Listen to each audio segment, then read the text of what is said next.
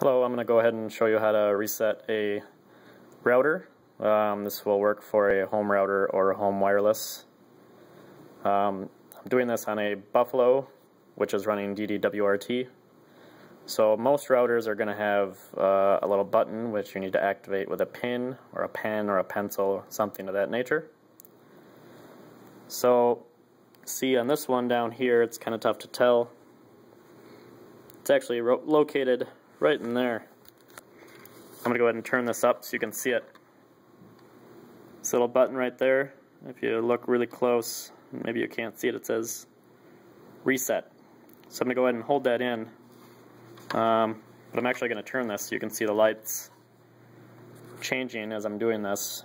Generally on these, what you want to do is hold it for about 30 seconds. So if you just pay attention to the lights for about 30 seconds, you'll see some interaction there with them a little bit. Reaching about 10 seconds so far. Pretty soon you're going to see the lights start to cycle, power cycle on you. The yellow ones went there. It's about 20 seconds.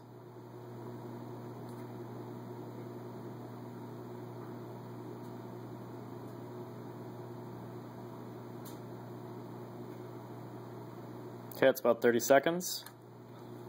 Just go ahead and let go. That's all you have to do is to reset the router or uh, your wireless gateway to factory reset. Thanks for watching.